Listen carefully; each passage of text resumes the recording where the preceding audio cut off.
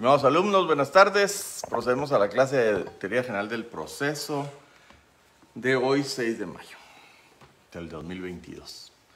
Bienvenidos, vamos a esperar que se reporte alguno como presente y continuamos con el capítulo de la prueba, que está en el libro de la licenciada de Juárez, tema 15.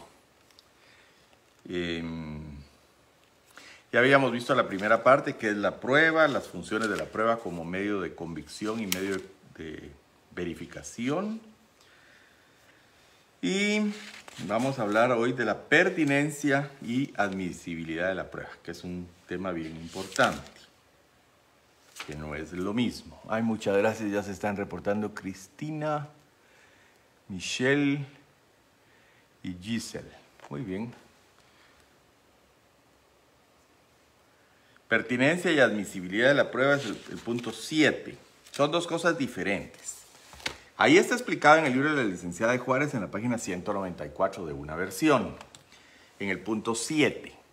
Pero, para que ponérselas fáciles, cuando decimos que algo es impertinente, aunque parezca que estuviéramos diciendo, ah, cómo molestas, o lo que se está diciendo es que no es perteneciente al caso concreto.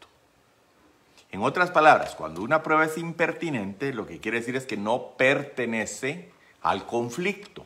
No tiene relación el hecho que queremos acreditar por ese medio de prueba con el caso concreto, el litigio, el conflicto que estamos tratando de resolver.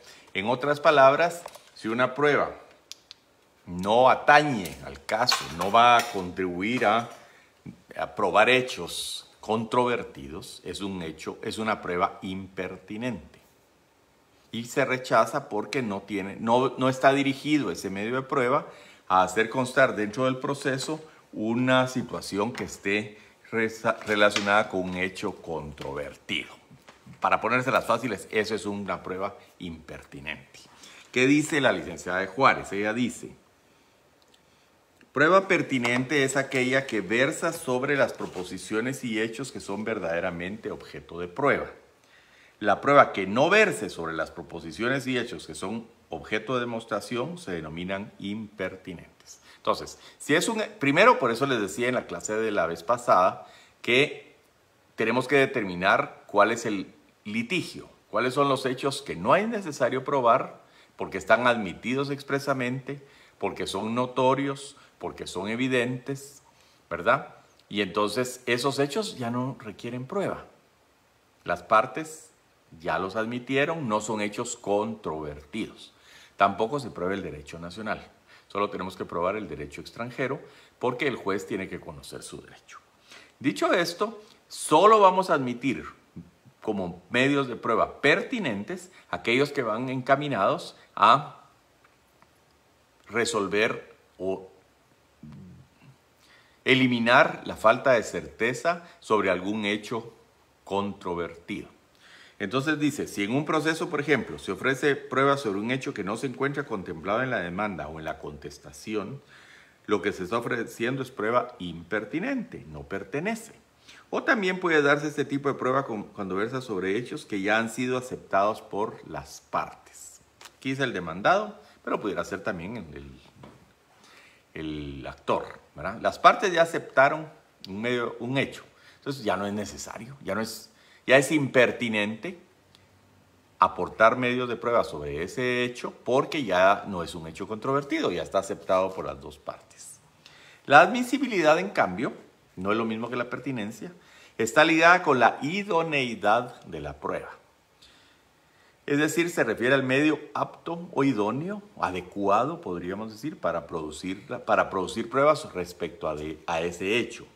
Una prueba puede ser inadmisible cuando se presenta un testigo en lugar de proponer a un experto. Por ejemplo, si queremos decir, mire, esta sustancia será mm, cocaína o no. Bueno, eso lo que se tiene que ofrecer es un medio de expertos medio de prueba de expertos, un medio científico de prueba en todo caso. Y no alguien que diga como testigo, ah, sí, yo vi que era cocaína. Porque eso no lo puede conocer una persona sin realizar los exámenes pertinentes. Y entonces, eh, lo que se necesita ahí es que emita un dictamen acerca de un hecho que necesita de conocimientos especiales o en el caso de la prueba documental que debe presentarse adjunta a la demanda.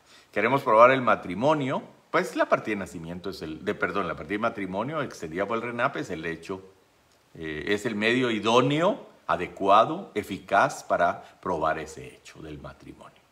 El fallecimiento se prueba con la partida de, de función, ¿verdad? No podemos probarla, así yo vi que estaba muerta la persona, con testigos, ¿verdad? Sino que tenemos que probarlo con un medio idóneo. Está muerto, está certificado por el, por el médico tratante o el último médico o el que certificó la muerte, ¿verdad? Y con eso se inscribió en el RENAP el fallecimiento, ¿verdad? Ahora, ¿cómo se murió? Tampoco con testigos. Ah, es que yo creo que murió de puñaladas, no. El médico forense tendrá que determinar la causa de la muerte por medio de una necropsia, una autopsia como se conoce vulgarmente. No lo podemos probar con testigos, no lo podemos probar con, con medios que no sean idóneos, eficaces. Entonces eso se refiere a la idoneidad de la prueba. O sea, el medio utilizado para que se produzca válidamente, ya que al momento de dictarse sentencia, el juez lo que apreciará es la Primero tiene que ver la pertinencia, si la prueba se refiere a hechos controvertidos. Se rechazarán aquellos hechos, aquellos medios de prueba encaminados a probar un hecho que, que sea controvertido. Y se rechazarán los que no se refieran a hechos controvertidos.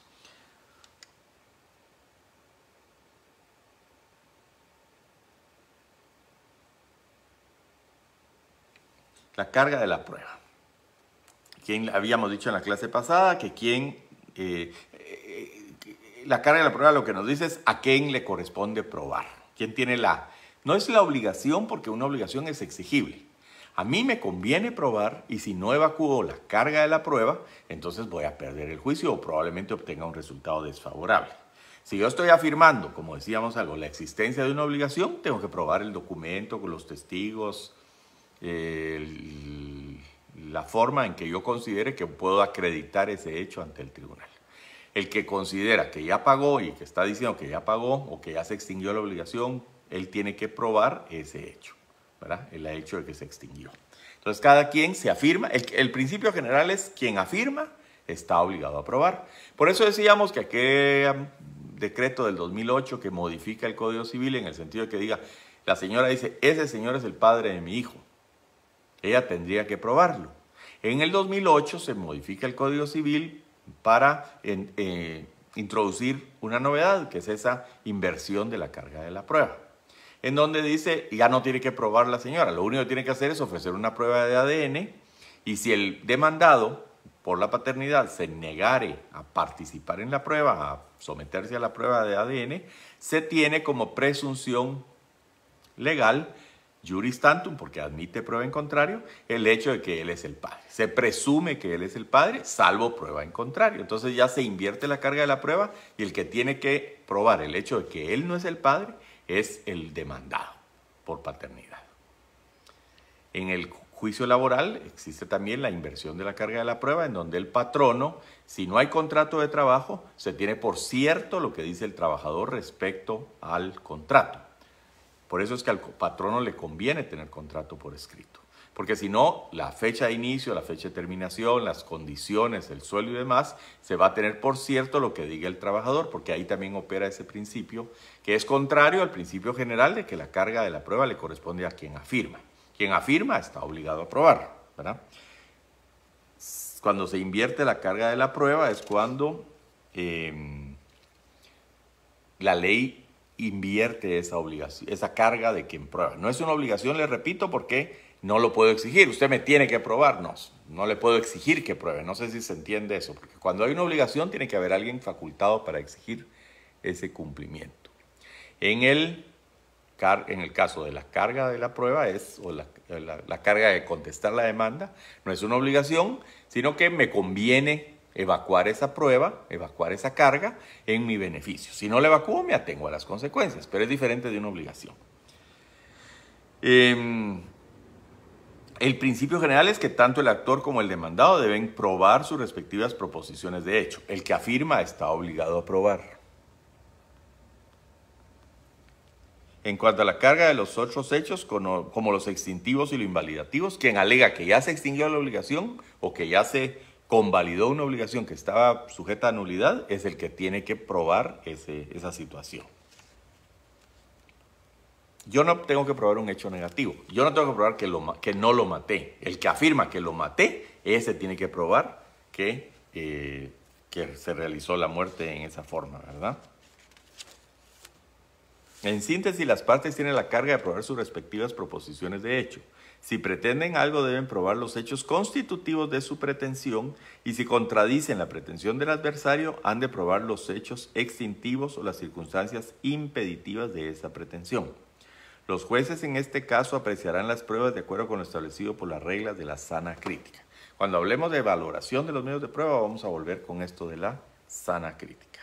Y ahorita vamos a ver que veo que hay algunos comentarios o preguntas. Espero que sean sobre la clase. Buenas noches, gracias. Todos están viendo el video. Había un comentario por ahí. Muchas gracias por su atención. Carga de la prueba, página 264, edición 2022. Muchas gracias. Sí, es 264. Aquí estamos por ahí por el 195. Muchas gracias por ese aporte. Sí, obliga, ya hay uno, sentencia firme. Se obliga si ya hay una sentencia firme. Sí, bueno, o puede ser que una ley esté una obligación exigible. El vínculo jurídico obligacional exige que, por eso es que se dice que las normas jurídicas son bilaterales, porque frente a una persona obligada tiene que existir una persona facultada para exigir esa obligación, el cumplimiento de esa obligación. Eso se llama el vínculo jurídico o el vínculo obligacional. Ese es el ligamen entre el obligado, eh, deudor, y el facultado para exigir el cumplimiento, acreedor. En este caso, no se trata de una obligación, la prueba, la carga de la prueba, porque el acreedor, la persona a quien, digamos, le interesaría que yo no pruebe, no me va a exigir que yo pruebe. Y no tiene facultades para decir, no, usted me lo tiene que probar y si no me lo prueba, voy a presentar una, una ejecución de obligación de hacer de que usted tiene que probar. Primero porque no le conviene y segundo porque no es la naturaleza de la carga de la prueba. Es una carga, no una obligación. La carga la evacúo yo en mi propio interés. A mí me interesa contestar la demanda, pero nadie me va a obligar a que yo conteste la demanda. Puedo irme en rebeldía, puedo ser declarado rebelde o contumaz de la demanda y, atenerme a, las consecuencias que tenga aparejada esa negativa a contestar la demanda o a presentarme a contestar la demanda al juzgado. Entonces no es lo mismo la carga que la obligación. Y esto de la prueba es una carga. Me interesa probar. A ver, creo que hay otra preguntita por ahí. Se obliga si hay una sentencia firme. disculpe, solo un paréntesis. ¿Podría ampliar una definición de pieza de autos y cuerda separada? Bueno, pieza de autos es el expediente. Supongamos que este... Vamos a ver dónde hay un expediente aquí. Aquí hay uno. Supongamos que esta es la pieza de autos. Miren, este... Este es un, un expediente, ¿verdad? Entonces, esta es la pieza de autos. Los incidentes que ponen obstáculos al, curso del asunto se tramitan en la misma pieza de autos.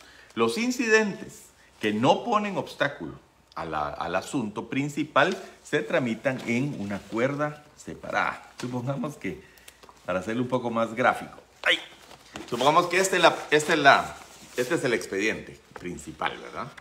Este es el expediente principal. Entonces, si voy a tramitar un incidente que interrumpe este curso del proceso, yo no puedo continuar con este expediente principal hasta no haber resuelto el incidente. Entonces, como no puedo continuar tramitando el proceso porque este incidente impide la prosecución del, asunto principal, la tramito dentro de la pieza de autos. Sigo eh, agregando los escritos y las resoluciones a la misma pieza de autos. Los que no impiden se tramita en una pieza separada, en una cuerda separada. Porque yo puedo tramitar paralelamente mi gran expediente principal y mi incidente de aumento o reducción de la pensión alimenticia durante la, tramitación del juicio de divorcio. Eso va en una pieza separada. Consignación de rentas. En un juicio ordinario, eh, sumario de desahucio, yo tengo mi expediente donde estoy peleando la desocupación y cada mes me comienzan a presentar un incidente de consignación de rentas. Ese incidente de consignación de rentas es una pieza separada, porque no interrumpe el trámite del juicio sumario principal. Pero al final yo voy a tener que resolver todo en la misma sentencia. Ahí es donde ya voy a incorporar los incidentes que se tramitaban en cuerda separada o en pieza separada a la pieza de autos antes de dictar sentencia. Eso les aclara, espero.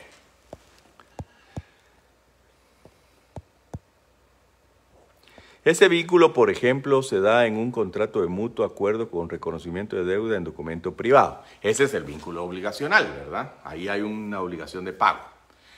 Hay un deudor y hay un acreedor. Hay una, dos personas obligadas. Yo le puedo exigir el cumplimiento.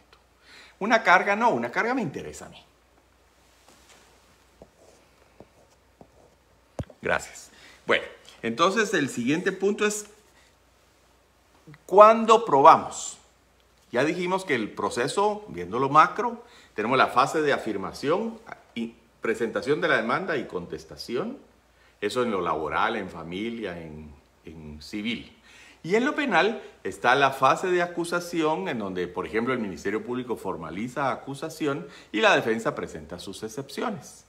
Una vez concluida esta fase de afirmación, lo que toca es probar, abrir a prueba el expediente, el proceso, para ver quién de las dos partes logra probar que lo que está diciendo es verdad. Ese periodo probatorio, esa fase probatoria, es un periodo posterior a la afirmación. Primero se afirma y se contradice, se traba la litis, se sabe cuál es el conflicto y desde el principio las partes tienen que decir qué pruebas intentan usar. Eso se llama la fase de ofrecimiento. Ya dentro del periodo probatorio se da la fase de proposición. Yo le pido al juez, mire, por favor, dentro de este periodo probatorio lleve a cabo estas pruebas. Por ejemplo, en la demanda yo le voy a decir, yo voy a utilizar testigos, expertos, peritos, reconocimiento judicial, declaración de la otra parte, em, documentos que acompañen, porque en, el caso de los documentos hay que acompañarlos desde el principio, por aquel principio de buena fe que debe y lealtad que tienen que tener las partes. Aquí están los documentos que voy a utilizar. A los testigos no los puedo ah, ah, acompañar ni llevar en el expediente, pero los documentos sí.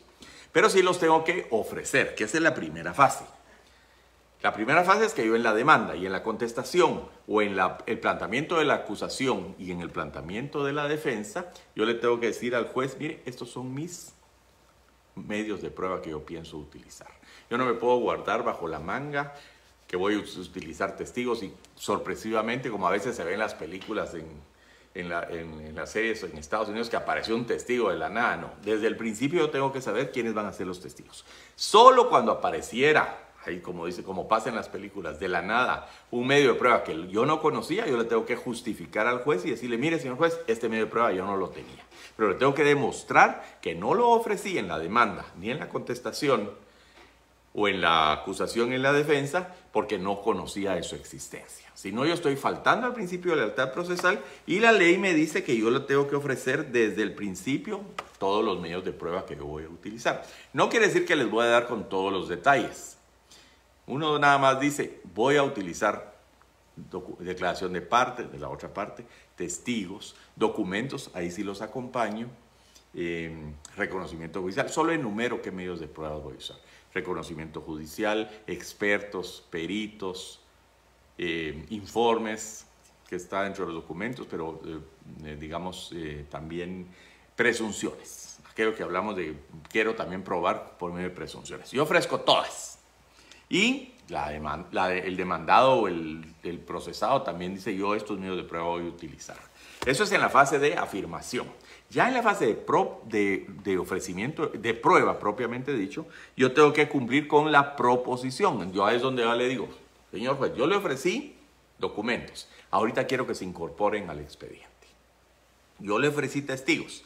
Ahora vengo a proponer a tal persona como testigo que tiene que ser citada en tal dirección y va a declarar conforme el siguiente interrogatorio.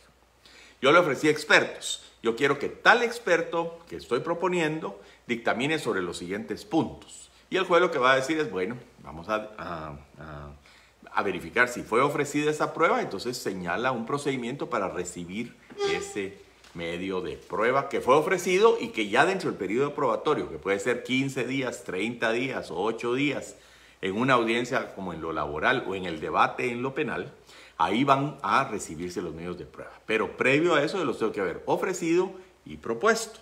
Les voy a subir al, Google Classroom una resolución interesante, también en el caso de Ríos Montt, en donde el Ministerio Público propuso sus pruebas y se las aceptaron y la defensa cuando las propuso le dijeron no, usted lo tenía que haber ofrecido en el Ministerio Público. Yo las ofrecí, pero no me las quiso aceptar el Ministerio Público. Dijeron, ah, no, entonces ya perdió la oportunidad.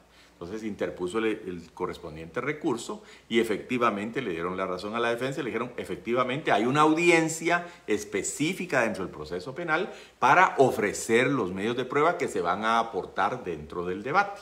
Y ese es el momento procesal oportuno, no en el Ministerio Público durante la fase de investigación, sino en el juzgado. el Ministerio Público dice cuáles van a ser sus medios de prueba y la defensa también. Todas las partes tienen que decir en esa audiencia cuáles van a ser sus medios de prueba y el juez tiene que admitirlos o rechazarlos conforme a aquellos principios que ya dijimos de pertinencia. Se refiere, se pregunta el juez, ¿se refiere a medios, a hechos controvertidos o no? Por ejemplo, si es un proceso de divorcio y entonces está diciendo, no, es que fíjese que la verdad, y es por malos tratos. Y entonces estamos probando, por ejemplo, entre los malos tratos, que el señor tiene muchas deudas. Eso no es un hecho pertinente. Estamos hablando si hubo o no hubo malos tratos. No si el señor está muy endeudado o la señora eh, va mucho al salón de belleza.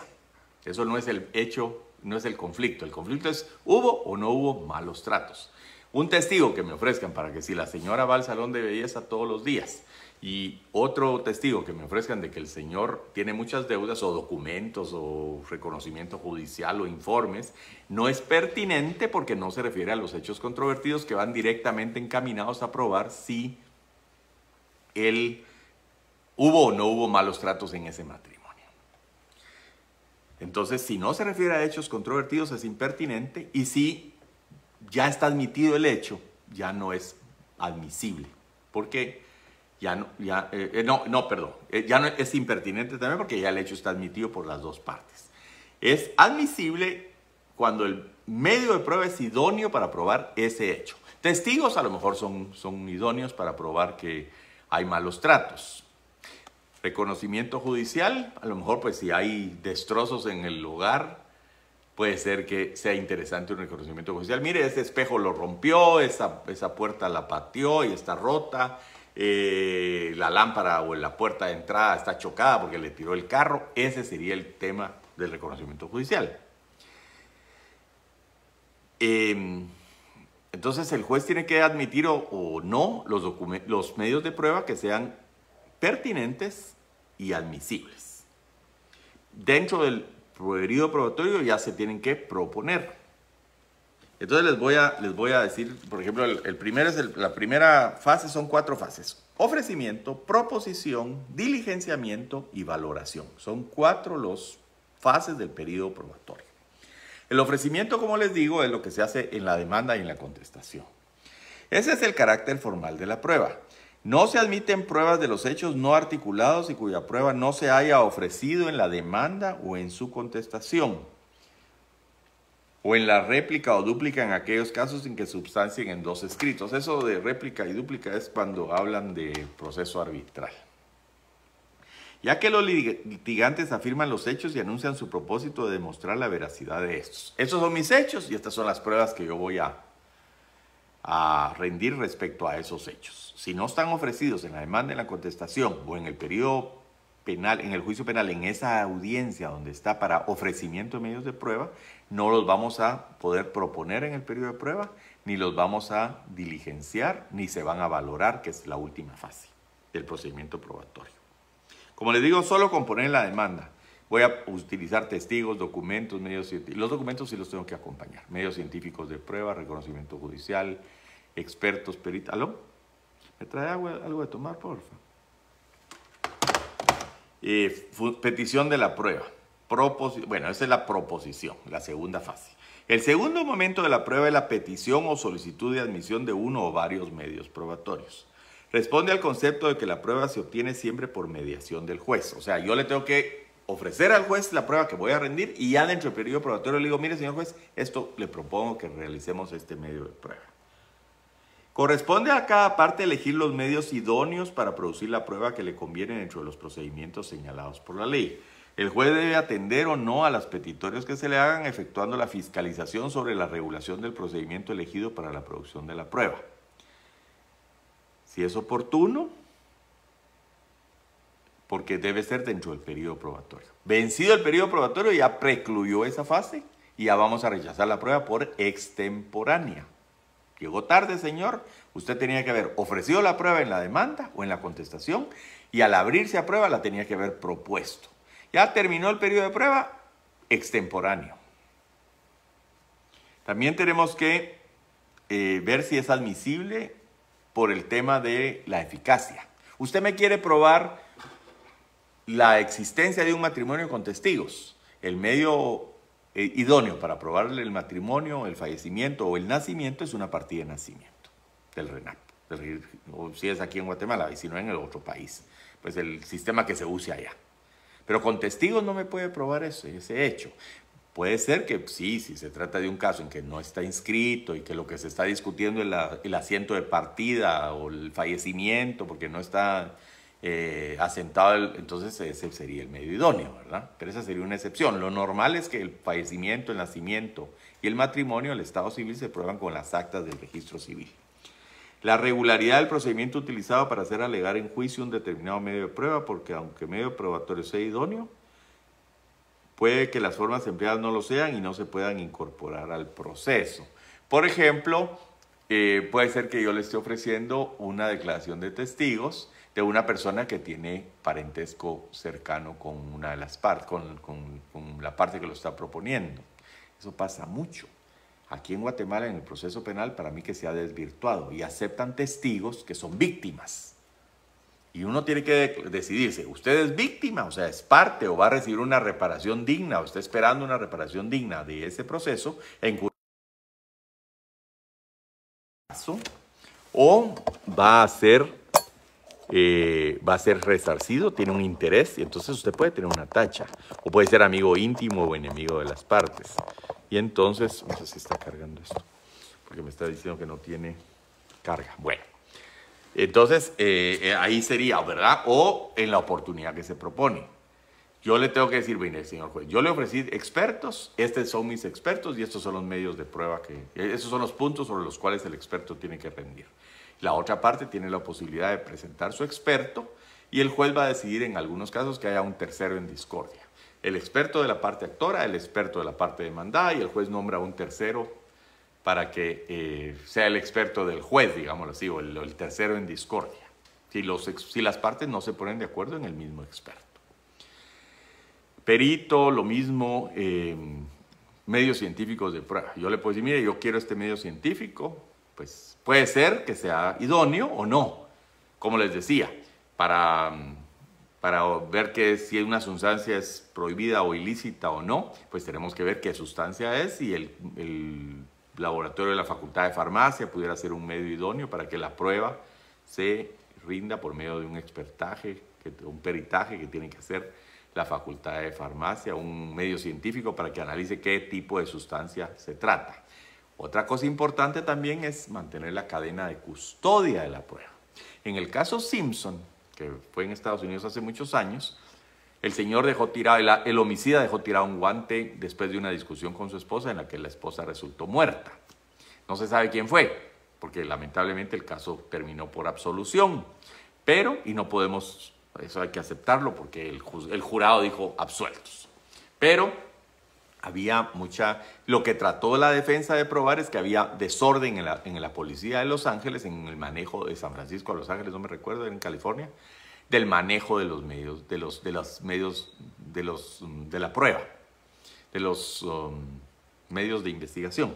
Y entonces había un guante que había dejado tirado el homicida y cuando se lo prueba el señor Simpson, dijo, me tengo que poner un guante de hule para no contaminarlo y que después no vayan a aparecer mis huellas en ese guante.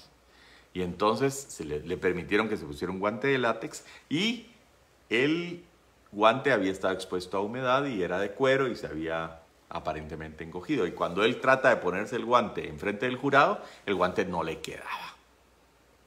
Y entonces el medio de prueba era esa como, digámoslo así, eh, aporte del, guante y presentación del guante y un reconocimiento judicial de que se, sobre el guante para determinar si al probárselo el supuesto homicida le, encaja, le, cabía el guante, le cabía la mano en el guante. Y entonces, eh, otra forma que también la, la defensa el abogado Kardashian, por cierto, eh, utilizó, fue acusar a la policía de Los Ángeles o de San Francisco de que tenía un manejo muy, muy desordenado de las evidencias, de que no se podía garantizar que esa evidencia que habían recogido en el lugar de los hechos había, eh, mantenido, se había mantenido en custodia, la cadena de custodia de la evidencia había llegado hasta el momento en que el, día del proceso. Dijo, hay un récord en la policía de este, de este lugar de que las pruebas se pierden, se contaminan, se no están en una custodia ordenada y entonces eso permitió a la defensa alegar que pues, podía haber una duda razonable de que ese guante, esa sangre, esa eh, arma homicida o lo que fuera, eh, habían mantenido una cadena de custodia adecuada. Eso es a lo que se refiere aquí cuando dice la regularidad del procedimiento utilizado para hacer alegar al juicio, para, para hacer llegar, aquí dice alegar, para hacer llegar al juicio un determinado medio de prueba, pues aunque el medio probatorio sea idóneo, puede que las formas empleadas no lo sean y no se pueda incorporar al proceso. Porque una o contaminación de la prueba o rotura en la cadena de custodia de la prueba y no se puede determinar que esa muestra de ADN fue la que le tomaron al, al oxiso, por ejemplo. O que eh, la prueba puede haber sido alterada, contaminada durante el curso del tiempo. Otra cosa, los testigos. ¿Cuándo están declarando los testigos? Pero eso lo vamos a ver también en la valoración. La oportunidad en que el tiempo que ha transcurrido entre que ocurrió el hecho y los testigos declaran, se puede tomar también para en la valoración de los medios de prueba, aunque ese es otro tema diferente. la tercera fase del procedimiento probatorio se llama diligenciamiento. Y eso consiste en que dentro de la audiencia de prueba, dentro del periodo probatorio o dentro del debate en lo penal, se incorpore formalmente el medio de prueba al proceso.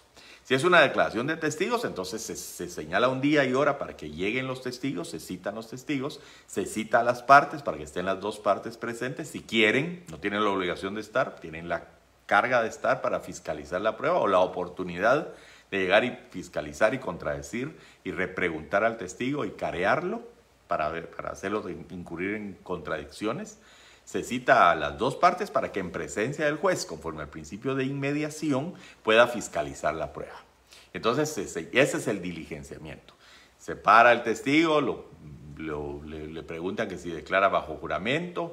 Si son varios testigos, los demás testigos permanecen en otro lugar, fuera del lugar donde se está celebrando la audiencia, para que no escuchen lo que dijo el primer testigo y entonces no se pueda eh, influir o, o, digamos, informar de qué es lo que está diciendo el otro testigo y repita lo mismo. Los otros testigos tienen que estar por separado, para que no escuchen. Y entonces se van llevando uno tras otro a los testigos, se les juramenta, se les hacen las preguntas, la otra parte tiene oportunidad de hacerle repreguntas, puede presentar tachas de, mire, usted trabaja con fulano de tal y usted es amigo íntimo de no sé qué, y usted tuvo una discusión con tal persona y usted eh, va a obtener tal beneficio de este proceso porque usted es deudor del, del actor o del demandado y entonces si el demandado gana, usted, él no le va a tener que pagar la deuda al otro señor y le va a poder pagar a usted ese tipo de situaciones que puedan influir en la credibilidad del testigo. Ese es el momento de incorporar dentro del periodo probatorio la, el medio de prueba eh, ofrecido. Creo que ya estamos a las 7 de la noche y entonces la próxima clase vamos a irnos a la valoración de la prueba, que es el última fase. ¿Qué valor, qué peso le vamos a dar a la prueba por por parte del juez. El juez tiene que valorar y ahí es donde vamos a ver que hay tres sistemas. Prueba legal o tasada, libre convicción y sana crítica. Así que les agradezco mucho, pero ya se nos acabó el tiempo y vamos a ver si obliga, si ya hay una sentencia firme, eso lo habíamos visto, desde alguna otra pregunta, nada más para terminar. Y les agradezco mucho su tiempo y su atención. Todo lo de los autos y de la cuerda separada está en el 135 al 140 de la ley del organismo judicial, que es los incidentes. Si tienen alguna consulta me pueden mandar un correo por correo, con mucho gusto. Cualquier cosa por correo. Sí, va a iniciar la otra clase, Jesús. Muchas gracias. Feliz noche.